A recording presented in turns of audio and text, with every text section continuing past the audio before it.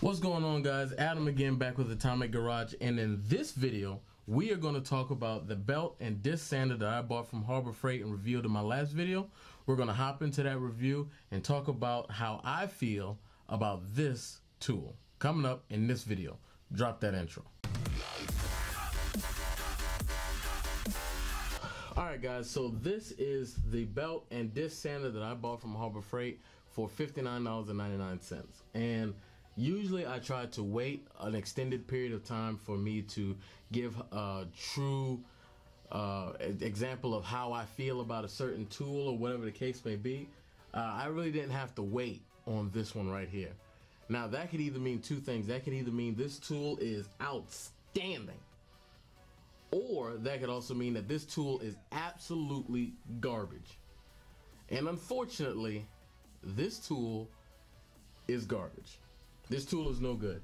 Uh, when I jump on this, actually, you know, when I think about a belt sander, I think about being able to, if I am fabricating a bracket or something, I should be able to get it to close to flat or whatever shape I'm trying to get. Then I can take it over here and I can finish and fine tune that bad boy or, or make a bracket flat and straight so it can mate up to another surface. That's what I think of. Now, when you put any kind of decent pressure, any kind of decent pressure on this thing, it automatically stalls out. Do you know how annoying that is? So I don't have a bandsaw. So sometimes my cut, even with my uh, angle grinder, can be pretty good. It's still not perfect. It's got the little wookity wookity going on. I'll be honest with you. So I wanted to have this tool here so I can go ahead and put it up there and it can grind it flat and it'll be perfect and I can just move on and keep on strolling. Unfortunately, it's not the case. It's, it's, it's not the case at all. And it's not the build quality because the build quality is what's to be expected. It's not terrible, it's fine. But and the, the belt isn't the problem either. It's the actual motor. And one of the gentlemen that posted uh, his comment in my last video. I forgot his name, but he said, "Oh my God, this is his uh, grinder that he has, and it gave him problems." And I was praying, I was saying, "Please don't, don't, don't let it be bad." But unfortunately, it is. Unfortunately, when you need it to perform, it doesn't perform as good. So while I was trying to fabricate this uh, hood scoop for my car, which one is not perfect, and two, I'm not gonna say I am a metal fabricator. I'm not gonna say that at all, not by long shot. But I know what I want in certain tools, and the motor on it is just simply not powerful enough. Now I'm gonna look and see if maybe there's any mods or anything like that that can be done to make it better, but this is only good for really thin aluminum maybe or really thin sheet metal that you're just trying to round a corner or something like that.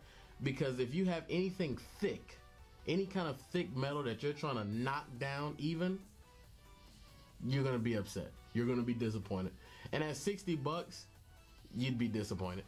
You'd be disappointed. So I would say that this is one tool that certainly I would avoid personally so with that being said about this bench grinder, I'm gonna keep my eye out for another one and hopefully I can find one that's a decent price but also performs the job as as it should. Uh, overall, if I had to give this tool a letter grade, I would give it a D for the simple fact that it's not strong enough to do any kind of heavy grinding, which is what you would think it would be for. Unfortunately, because what you would expect this to deliver, it doesn't come close to it at all. It stalls out quite a bit on you and it doesn't have enough grunt or anything to get the job done. It as opposed to my bench press that was the same price really. I want to say about 60 bucks or so. I haven't been able to stall that motor out at all. But this motor certainly it doesn't have the guts to do a whole lot. So I'm gonna keep my eye out for another tool that will do the job and not break the bank as it were, but avoid this tool from Harbor Freight if you can.